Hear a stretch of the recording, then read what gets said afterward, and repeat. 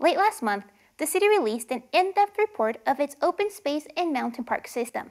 Now city staff is seeking your input on community values, hopes, and concerns for the future of OSMP.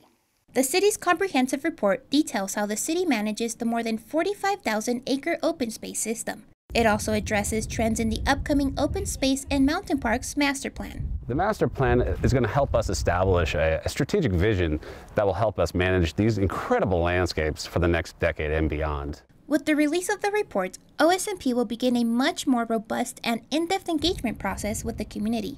Community partners and staff will be at trails and popular locations around Boulder to hear residents' input on Boulder's open space. We really want to know what you think and what they value to really kind of create a, a vision for the future. Uh, without community support, we wouldn't have what we have today.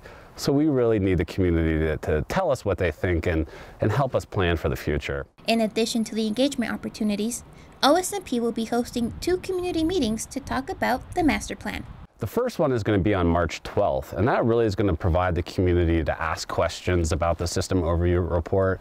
Uh, let us tell them, uh, inform community members about what's in it, answer any questions they have, and really kind of have an opportunity to solicit more input about the master plan. The open house will be held on Monday, March 12th from 5:30 to 8 p.m. at the Jewish Community Center. But make sure to also mark your calendars for March 18th for OSMP celebratory master plan kickoff called Imagina.